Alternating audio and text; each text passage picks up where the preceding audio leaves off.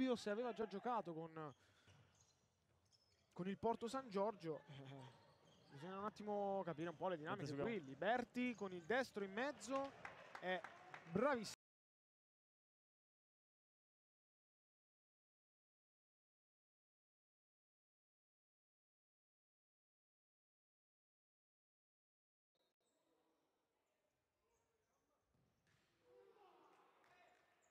Attenta il 4-1 Liberti lo segna